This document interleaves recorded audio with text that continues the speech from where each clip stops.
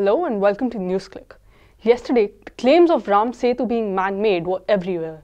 These claims come up every, every couple of years and get the Hindutva Brigade excited and then they start circulating these claims. So today we have with us Prabir Purkayastha, our editor-in-chief, to talk about what these claims are, why they come up, why they keep coming up, and what is the actual science behind the Ram Setu. Welcome, Prabir. So uh, let's start by talking about what this promo, the Science Channel promo actually says, and you know what is the actual scientific explanation of what they're saying. Well, uh, there are two things I think we must register in the promo. First, that is, of course, it's a promo. They want you to see the full program. And this, in some sense, is like clickbait for television, that you make a sensational claim, so people will want to watch the full session, full uh, channel, whatever they're going to say, which is obviously going to be much longer. Now, having said that, what is the basic thing that they are claiming, which has been picked up by others? As I said, the probo is not explaining anything. It's making a certain sensational statements in order to, in order to attract eyeballs. And in this, they are saying that the sand hmm. on which the rocks stand, which constitutes what is called the Adams Bridge or Ram Setu, it doesn't really matter, that the sand is younger while the stones which are on it are older. And what's our ages? The sand is about 4,000 years old and uh, the stones standing on it are 7,000 years old. So this is the first anomaly they are claiming. And the second thing is, well, the stones are rather big and it would require superhuman engineering, uh, as it were, to set them over there.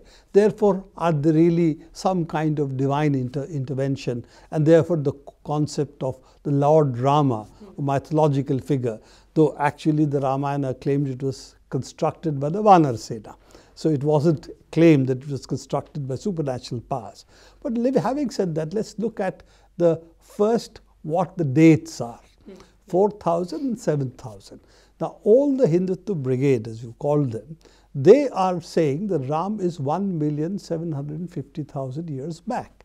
So if they're willing to say that Ram, in order for the Setu, Setu to be artificial, needs to be only uh, have gone to Lanka, Sri Lanka, uh, in the current terminology. Only 4,000 years back, they themselves are now going back on the genealogy they came for, claim for Rama, the, the Treta Yug, Dwapar Yug and all these yugs they have talked about and the antiquity of the Aryans in India and therefore also that this is the, uh, shall we say, the Sanskritic homeland, the Vedic homeland, yeah. and it's really been there for millennia and so on. All these claims then come into question. Yeah. So they have the really the unenviable task of accepting what the Science Channel says and also reconciling it with their historical uh, evidence that they keep on claiming, which is really the mythologies that we have.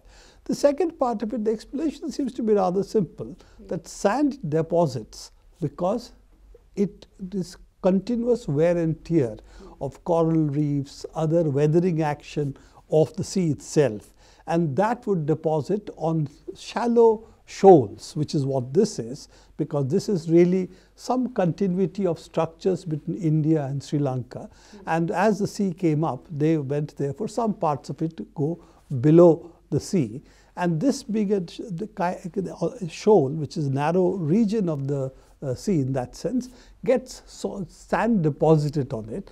And because the weathering of the rocks, the coral reefs are continuous, the sand is going to be younger uh, than what are the older rocks which are already there from before. So all we are talking about is really something rather simple to explain if you exercise your common sense. Yeah. But then, you know, this is also the way the Science Channel yeah. actually operates. If you have seen its other programs, you will see the Science Channel takes up some of these mythological claims, some of this what it calls anomalies, some of it could be uh, various, uh, shall we say, things which are circulating like the abominable snowman, Yeti, the Bigfoot, or the Loch Ness Monster, and then creates this whole hype about it as if they're going to show us something startling and come out with, yes, the Loch Ness Monster exists, or something similar. While at the end of it, they'll give a rather mundane explanation of it. If you have seen the uh, science programs, uh, science channels programs, that it's really something which is very similar to what they did with the Loch Ness monster. Mm. They took a, a picture from the from space, which is easily available. They actually you can buy this from various uh, satellites which are circulating above the above the uh, the world. And then with these feeds, you can create some anomalous uh, objects that you find created in by such pictures and then have a whole spin a whole show out of it. In the Loch Ness Monster, they claimed here is the lake in which you can see a big something which is there in the water. And then finally, the very mundane explanation, you know, when you combine pictures, which is what it really does, cameras combine pictures, mm. you sometimes get an artifact of the image. And in this particular case, the boat has disappeared, okay. and what is left behind is the wake, and that comes up as if it's an un unexplained big object. So this is really a part of image processing, yeah. which is what all of these uh, have to do in order to sell us the really attenuated, sharper pictures than otherwise you'd get from this what the cameras directly. This is how it always works. So I think that's the nature of television today to create mm. something out of nothing. And we see that our union ministers are all, you know, uh, promoting this promo itself to um, talk about their mythologies and their religious beliefs. Smriti Irani, Piyush Goyal, Ravi Shankar Prasad, all of them have already made public responses and are very excited about this episode using just this promo. Well, that's a very interesting ex exercise that periodically happens. One is, of course, the say, and this is what our ICHR chairman has been on record saying, that our mythologies are oral history and they supersede any scientific evidence we can find.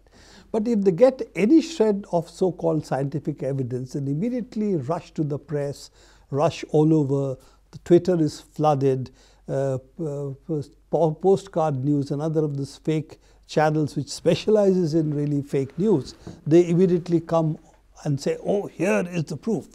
So science is only accepted if it supports their mythologies. Mm. Otherwise, mythology supersedes science is the position they take.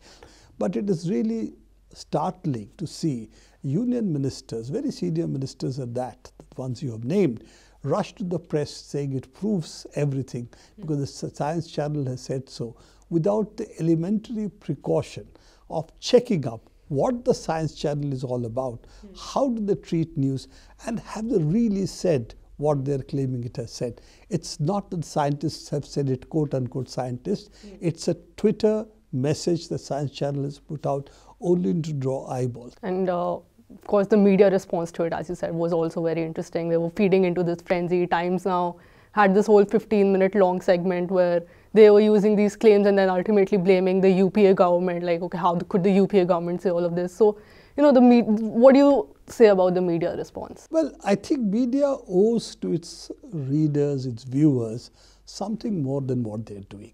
If we look at the sequence of it, today, as you know, is the Gujarat elections. So anything to beat the UPA with day could be argued was the Times Now or the Republic TV's day. It didn't matter what it was. In this particular case, it was a science channel saying something. The chief editor of Times Now going in his uh, for our Ornob style, the angry Ornob style, which he seems to have popularized, and going on and on about science has said, science has said. No, it was Science Channel. I was wondering why was he getting so excited about it till it came to the crucial part, UPA bashing. Now, one day before the elections in Gujarat, you were doing UPA bashing. The intent was really to help the BJP as much as you can, hmm. which seems to be the agenda of both Times Now and Public TV.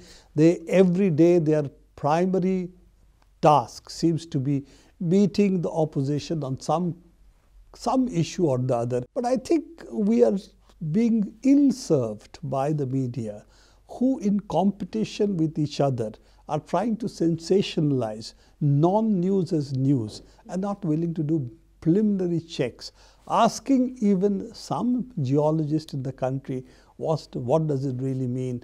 Does this 4,000, 7,000 years have any alternative explanation? Is it possible that it could still be not a man-made structure but a natural structure? So elementary precautions are not taken. NewsClick is nowhere in this, uh, shall we say, in this league. But before we went in to critique what was happening, we actually did some due diligence, minimum time that it takes to do it. We talked to some people. We looked at what the science channel is. But why these big channels don't do it is an important question. Yeah, and as you said, they should have consulted geologists because there are actual scientific papers already out on uh, this Ram Setu and how it came to be. So thank you, Prabir, for joining us. And that's all the time we have today. Thank you for watching NewsClick.